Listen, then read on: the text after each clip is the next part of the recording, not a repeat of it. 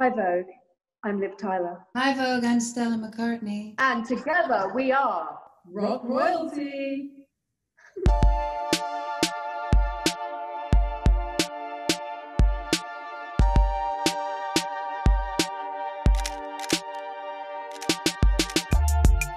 I've never used this thing before. I bought a tripod and a fucking light. It's propped up on a Lego Titanic. There's the Mine's light. propped up on about five blankets. Literally. I miss you. Can we wrap this up so you and I can have a drink on Zoom? Let's us have a drink now. We've been friends for a very, Nice. very long time. We must have met a good 20, a good 20 years ago. You think? I think so. I think I was, I don't remember exactly, 18 or 19 or something. I was looking it up. Armageddon had come out the year before, and then I made a couple movies in London, which is probably where we met. and it was we didn't stop the minute we met i mean the thing about liv and i is we grew up with very very similar backgrounds and then we tried to go out and carve our own careers we didn't have to work through much to understand each other it was pretty Yeah, there was like an instant understanding. Well, and I think we both always really crave a real connection because in our experience as children growing up, there was like a lot of BS around us or people wanting to be around you or your parents. And when we would be together, we felt very grounded. we definitely never took anything too seriously that didn't need to be taken seriously I'd never been to a Met and Liv had never been. I didn't know anything about the Met. I didn't know what it was. I didn't know who was going, what people did. I got to New York a couple of days before the Met. And I knew I, I was like, Liv, do you want to come with me? Because I just wanted to go with a girlfriend. She literally called me and said, Will you come? I don't even know if she said to this fashion event. She just said, Will you come to this event with me at the museum? So it was like a night out for us. We are like, oh my God, this is a kind of curious adventure. And I'm super shy, but I was like, okay, great. And she didn't really explain very much other than she was make having t-shirts made for us. I don't even think she said what they were going to say on them. I remember going to Filth Mart down in Little Italy in the morning of the of the Met. He just had like vintage T-shirts on the wall. Amazing collection. And I, at that time, all I wore as my kind of uniform, like the white three three in a pack Hanes vest, and that was like what I wore every day, day in day out. So I had a pack of them when I was in New York, and I remember going down and taking it to him and saying, "Look, can you cut it off? Can you make it one one shoulder?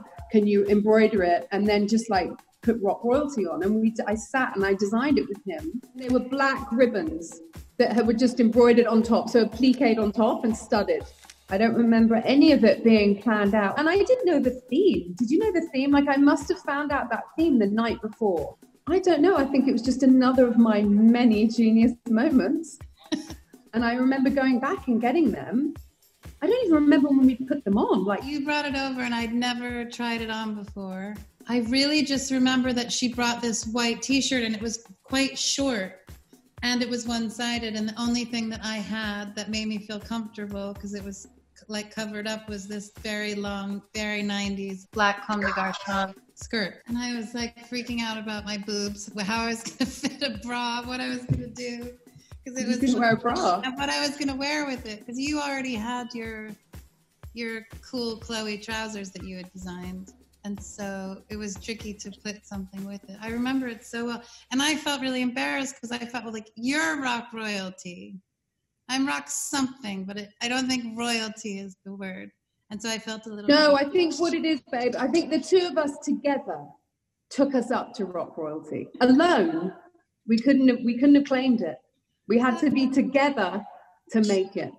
I remember coming over to pick you up and you were having your hair and makeup finished and I was like, I don't. I never I had never had my hair and makeup done for an event before. And I just couldn't, bel- I was like, oh my God, Liv, you're getting hair and makeup done. And I remember going into like a panic because I'd literally just gone like all over my face. I don't remember having my hair and makeup done, but she says that I remember doing it myself, and I have really strong pink blush cheeks on. It looks like I have no makeup on, and the these like beaded earrings. I didn't really have any jewelry. I was just a teenager.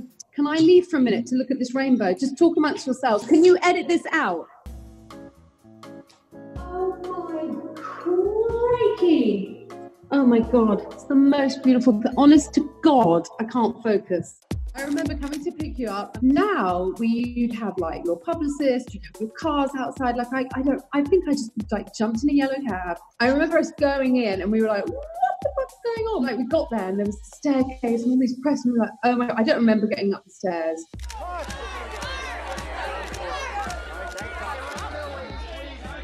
We were at the time quite frowned upon and judged by people for our look everyone was staring at us like, oh my God. And everyone was like, I think they must have seen us coming up those stairs in our t shirt and just been like, and I remember us sitting at our table and we were like, literally, we were like gobsmacked by the people all around us. You and I were, we were like, the thing that was weird about it was because it wasn't really appropriate that we wore those shirts officially. We were not following the honors of the dress code, I guess, in some way. So there was very cool and rebellious of Stella, and she was. It was a really um, like amazing thing in a way, but we were just being ourselves, and we were being. It wasn't intentional. At that time, I didn't come at it intentionally to be rebellious at all. I didn't know what people wore, and I was like, "This will be fun." I remember the thing that we really didn't expect, and even at that time, I didn't really know what it was either. But I remember the next day we were on the cover of WWD that we didn't expect. Like we were like, oh my god, people took notice of us. The Met was so different back then. I googled today, 1999, because I was just trying to remember what was going on in our lives at that time, and it was really interesting to see what everyone was wearing because no one was that dressed up.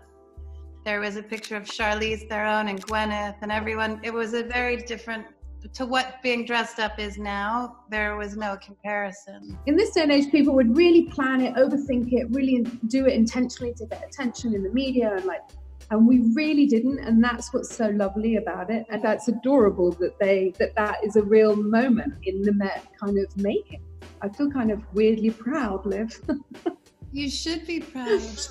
And it's just one of those things when all the stars align like it was our first time we i didn't overthink it we had a great time. We have some crazy memories, and but we it just was like a beautiful. I also think connection to our friendship. I'm really happy that it, it was a standout moment for you guys because uh, it was for us, and so thank you for making us remember it. I have mine. Have you still got yours, Liv? Yeah, yeah. Oh, cute. We In should so get them together. Oh, we have to do a photo of us in that.